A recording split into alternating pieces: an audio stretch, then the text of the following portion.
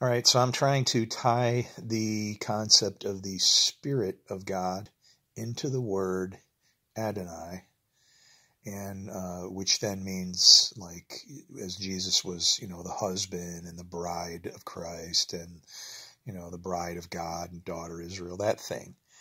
but listen to Amos 4:1.